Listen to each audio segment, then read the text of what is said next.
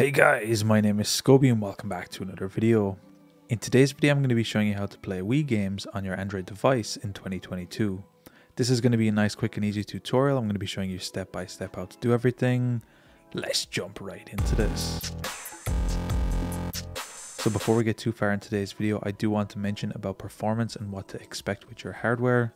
The recommended specifications for this is going to be a Snapdragon 835 along with 4GB of RAM and to be on Android 10 or above. And this is where you can expect to get good solid playable frame rates from your device. Anything less than this can give some issues and it can be a hardware related problem rather than a software related issue.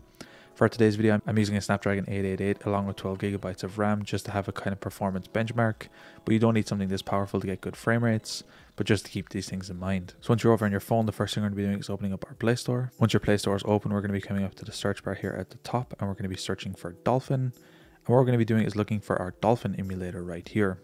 We're going to simply download and install this. Once it's downloaded and installed, we're simply going to be clicking the play button here at the very top we're going to be confirming to all of the information on screen, and then we're going to be brought inside of our emulator. And the top left here is where we'll have a list of all of our GameCube games added to our emulator if we have any. In the middle here we will have all of our Wii games, and on the right we will have our file structure searching system where we can search for different files and information. So this is our basic UI inside of Dolphin. Of course, we're going to be setting up and talking about Wii games next, but this is how our emulator will look, and I'll come back to this a little bit later with some specific settings that we can take a look at a little bit later on. So the next thing we're going to be taking a look at is an application that's going to allow us to extract and sort our games. So for this, we're going to be heading back over to the Play Store. Once we're over in our Play Store, we're going to be backing out of here. We're again going to be coming to our search bar, closing this down, and now we're going to be looking for an application called ZArchiver. This is going to be a free application that we're going to be using to extract our games. So the first thing we need to do is get this installed and we're going to be opening it up. I will also mention from this point, I'm not going to be sharing any download links to games in this video. For any games, you're going to have to download them yourself or feel free to create a dump or backup of your already existing games.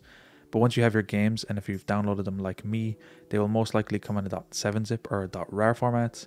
And that's where we're going to need ZArchiver. ZArchiver is going to allow us to extract these games into a .iso format, which is going to be playable on Dolphin, so we can bring our games over there and actually load them up. So if you have your game in .7zip like me right here, we're simply going to be single tapping this. And here we will have two options is extract here or extract dot dot dot.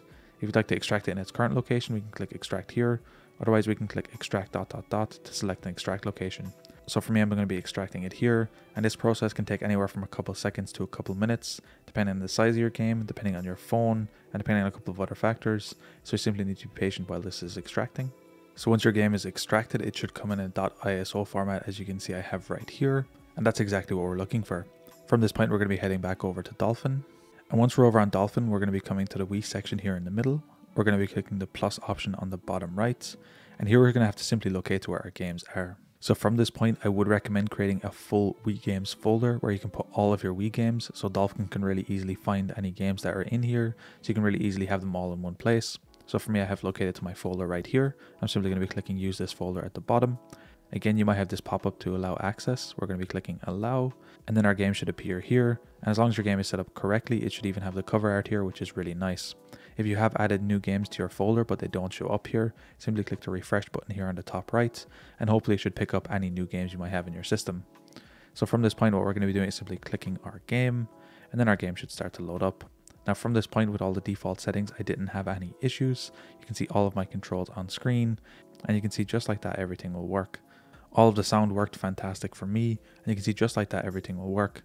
Now using the on-screen controls for a game like Super Mario Galaxy is definitely difficult. That's not something I'd recommend doing, but it does work pretty well. So using the controls on screen is quite nice. Simply tilt your phone back and forward to actually activate the cursor on screen. So tilting your phone down will activate your cursor and then you can use your finger to move around. And tilting your phone back will then deactivate the cursor and you can see that now touching your screen doesn't do anything, which is also quite a nice option. And of course these options can all be customized. As you can see the game runs quite well here and overall the performance is quite good. Now to open up your on-screen controls and to change a couple things, we can simply click the back button or use your gestures to go back a page. And here we get this option here on the left. And here we have a couple things we can do. We can pause emulation, take a screenshot, use our settings, configure our overlay controls, refresh remotes, change disk, or we can even exit emulation here at the bottom. If we can click our controls overlay, we can do quite some options here.